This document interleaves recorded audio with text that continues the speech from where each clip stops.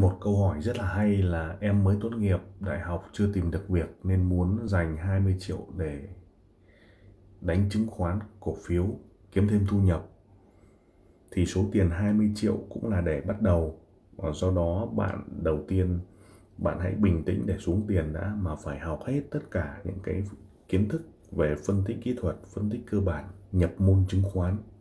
Cái điều cần thiết đó là nhập môn chứng khoán bao gồm lý thuyết sóng Elliot, phương pháp can slim, các vấn đề về kinh tế, lãi suất, đặc biệt là phân tích cơ bản, phân tích kỹ thuật, tham gia các hội nhóm chứng khoán nhé.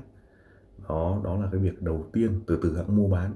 Sau đó mới nghiên cứu đến mã các ngành, ngành phân đạm hay phân phân này, ngành dầu khí này, ngành ngân hàng này, ngành tài chính này, ngành công nghiệp, ngành thép. Đó bắt đầu mới phân loại ra thì lúc đấy sẽ có cái cách. Muốn đầu tư được thì phải